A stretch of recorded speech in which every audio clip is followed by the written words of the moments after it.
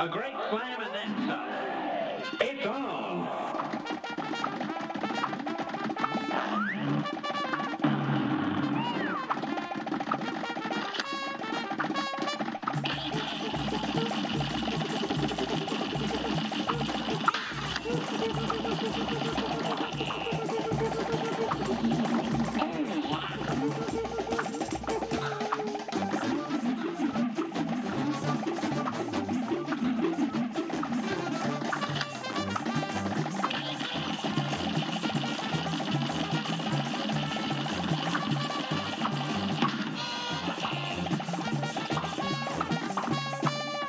Yeah.